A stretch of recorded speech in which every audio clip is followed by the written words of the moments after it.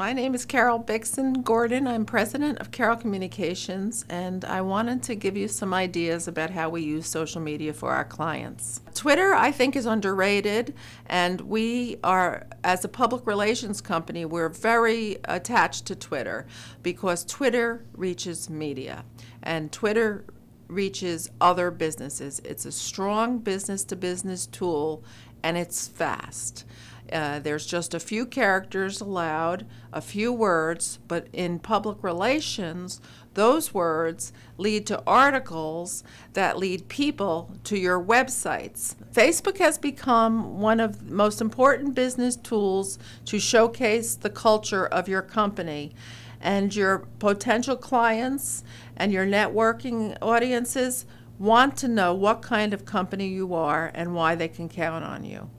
Sometimes you're not talking person to person, but photographs and Instagram can tell a whole story with very few words. It's quick, uh, it's changing all the time, and it's a source for young people and it's a source for all generations people get their news in different ways, but business to business, they get it through LinkedIn. And one of the greatest things about LinkedIn is its search engine optimization rankings.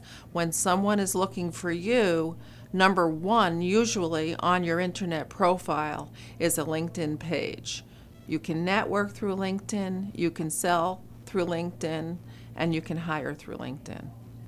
We work with our clients to find out what they would want to speak about. We make suggestions for topics, and uh, you have the white coat on. You are giving to get how to pieces, um, industry news, uh, and blogs show the knowledge of uh, a corporation and what you can achieve.